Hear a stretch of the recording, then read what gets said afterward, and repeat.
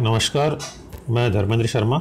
आज आपको subject code M R तीन सौ तीन के chapter number one air conditioning load calculation के पार्ट तीन के बारे में बताऊँगा, जिसके अंदर हम बिल्डिंग सर्वे की बात कर रहे थे। तो पहले दो लेक्चर्स के अंदर, पहले दो पार्ट्स के अंदर हमने देखा था कि बिल्डिंग सर्वे के अंदर हम लोगों को किन किन चीज़ों को ध्यान रखना चाहिए और एक ड्राइंग के अंदर या जब हम साइट विज़िट कर रहे हों तो वहाँ पे हमारे को क्या क्या चीज़ें नोट करनी चाहिए।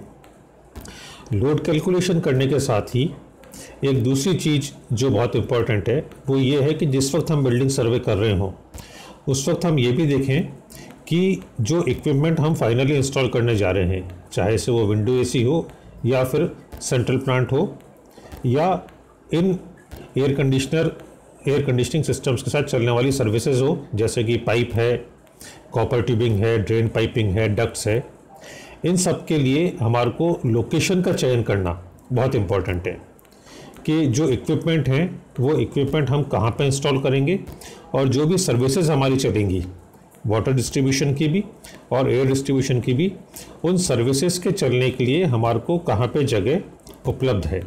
तो इन चीज़ों को बिल्डिंग सर्वे के वक्त ही देखना बहुत ज़रूरी है। वरना कई बार ऐसा हो जाता है कि हम किसी सिस्टम के लिए सिलेक्शन कर लेते हैं कि इस पर्टिकुलर बिल्डिंग के अंदर सेंट्रल एयर कंडीशनिंग प्लांट लगना चाहिए।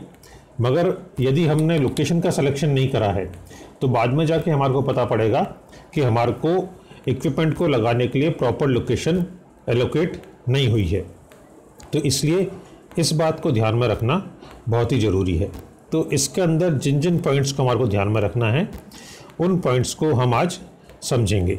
सबसे पहला पॉइंट है अवेलेबल स्पेस यानी कि हमारे को जो जगह है, वो जगह हमारे को किस तरीके से मिल रही है।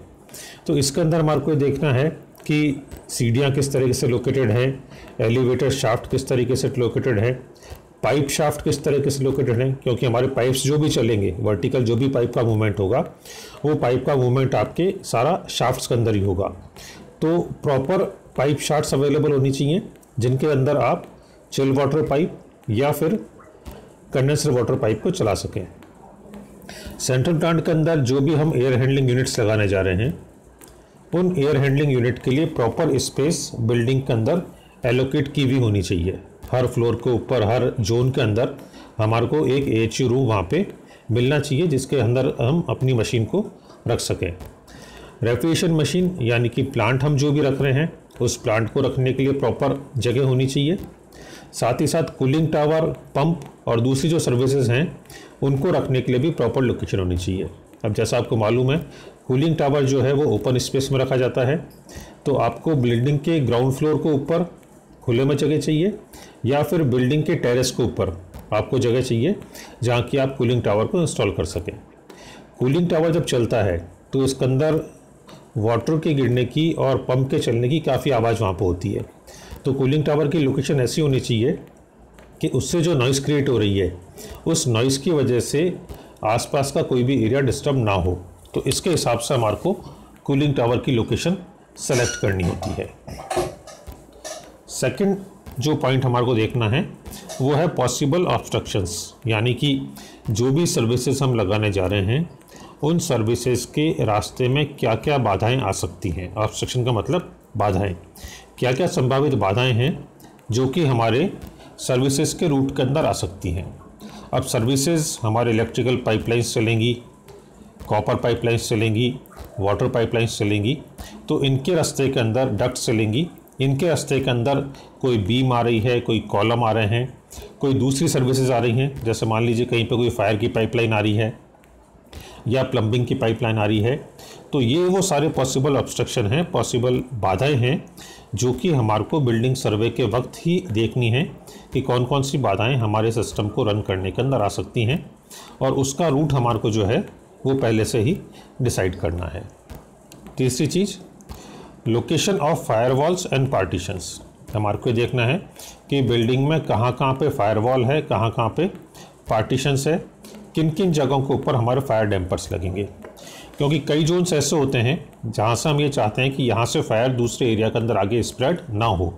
तो ऐसे जो भी जोन्स हैं, उन जोन्स में जब हम सर्विसेज़ को वहाँ से रन करवा रहे हैं तो वहाँ पे फायर डैम्पर्स का लगना ज़रूरी है, जिससे कि उस जोन से आगे के जोन के अंदर फायर कभी भी स्प्रेड ना हो। तो फायर वॉल्स हमारे को देखनी है पार्टीशंस देखने हैं, और कहाँ कहाँ पे फायर डैम्पर्स हमारे को लगाने हैं, वो लोकेशंस हमारे को बिल्डिंग सर्वे के अंदर डिसाइड करनी है। चौथा point location of outdoor air intake जैसा कि हमने डिस्कस करा था कि एयर कंडीशन स्पेस में एयर की क्वालिटी को इम्प्रूव करने के लिए या एयर की क्वालिटी को मेंटेन करने के लिए हमारे को कुछ आउटसाइड एयर या फ्रेश एयर वहाँ पे अंदर देनी होती है। अब ये फ्रेश एयर जब आप अंदर ले रहे हैं तो इस फ्रेश एयर को लेने का रूट आपके पास में होना चाहिए कि बिल्डिंग की कौन सी साइड से आप फ्रेश एयर को अंदर लेंगे। अब वो लोकेशन ऐसी होनी चाहिए कि वहाँ पे बाहर किसी तरह की कोई स्मेल ना हो। ऐसा ना हो कि आप किसी गली के अंदर ये फ्रेश एयर का इंटेक खोल दें और उस गली के अंदर कोई स्मेल का सोर्स हो या किसी दूसरे बिल्डिंग का टॉयलेट का वहाँ पे एग्जॉस्ट निकल रहा हो और उसी डायरेक्शन के अंदर आप अपनी बिल्डिंग के अंदर फ्रेश एयर का इंटेक ले लें। विंड डायरेक्शन को भी हमारे को ध्यान में रखना है कि जिस लोकेशन पे आपकी बिल्डिंग है, वहाँ पे विंड डायरेक्शन क्या है, उस विंड डायरेक्शन के अकॉर्डिंगली ही हमारे को फ्रेश एयर का इंटेक वहाँ पे लेना है। बाहर कोई शॉर्ट सर्किटिंग तो नहीं हो रही है ऐसा तो नहीं है कि आपकी खुद की बिल्डिंग का ही कोई टॉयलेट का या किचन का जो एग्जॉस्ट है वो वहाँ पे निकल रहा हो और उसके पास ही आपने फ्रेश एयर का इंटेक ले लिया हो। तो यदि आप ऐसा करेंगे तो उस केस के अंदर जो एग्जॉस्ट आप बाहर निकाल रहे हैं, वही एग्जॉस्ट वापस से घूम के आपके बिल्डिंग के अंदर आ जाएगा। तो इन चीज़ों को हमारे को अवॉइड करना है। फ्रेश एयर की लोकेशन को बहुत ध्यान से हमारे को सिलेक्ट करना है। नेक्स्ट पॉइंट इसके अंदर हमारे को जो देखना है, वो है पावर सर्विसेज़ का।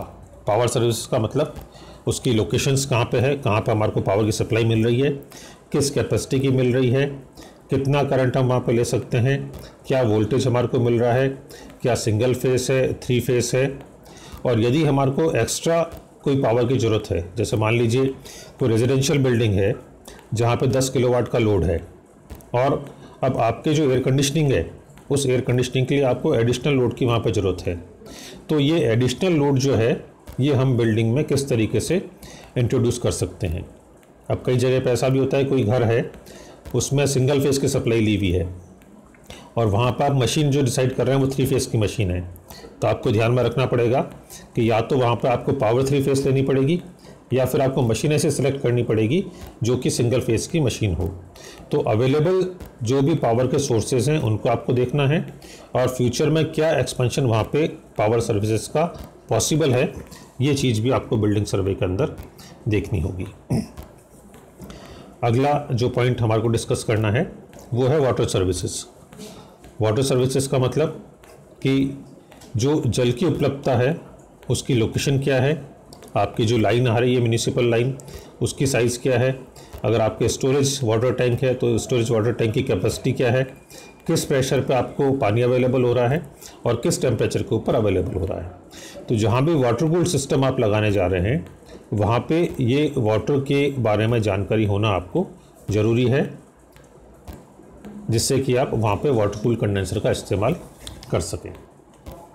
स्टीम सर्विसेज़ यदि कोई इंडस्ट्रियल एप्लीकेशन है तो वहाँ पे स्टीम किस लोकेशन पर अवेलेबल है, किस कैपेसिटी में अवेलेबल है, किस टेम्परेचर और प्रेशर पर अवेलेबल है, क्योंकि कई बार हम जो स्टीम की वेस्ट हीट है उस स्टीम की वेस्ट हीट को वेपर एब्जॉर्प्शन सिस्टम के अंदर काम में ले सकते हैं। तो ऐसी कोई भी एप्लीकेशन है जहाँ की वेपर एब्जॉर्प्शन सिस्टम से वेस्ट हीट काम में ले सकते हैं तो पॉसिबिलिटी हमारे को एक्सप्लोर करनी पड़ेगी कि स्टीम की अवेलेबिलिटी वहाँ पे क्या है। रेफ्रिजरेशन ब्राइन और चिल वाटर यदि कोई एप्लीकेशन ऐसी है जहाँ पे पहले से ही रेफ्रिजरेशन या ब्राइन या चिल वाटर अवेलेबल है कस्टमर की तरफ़ से। तो हमारे को देखना पड़ेगा सिस्टम क्या लगा हुआ है, कैपेसिटी क्या है, किस टेम्परेचर के ऊपर अवेलेबल है, क्या फ्लो रेट मिल रहा है और क्या प्रेशर मिल रहा है। जैसा एग्जांपल के तौर पर आप, मैं आपको बताऊँ कि कोई कमर्शियल मॉल है। अब कमर्शियल मॉल के अंदर जो ऑनर है, जो डेवलपर है, वो डेवलपर हर बिल्डिंग के अंदर, हर जोन के अंदर, हर शॉप के ऊपर एक लाइन ला के छोड़ता है, जिस लाइन के अंदर चिल वाटर का फ्लो होता है।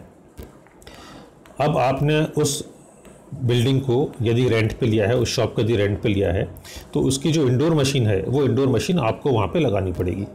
तो आपको ये देखना पड़ेगा वहाँ पे कि वहाँ पे जो चिल वाटर आ रहा है, वो चिल वाटर किस फ्लो रेट से आ रहा है, किस टेम्परेचर पे आ रहा है।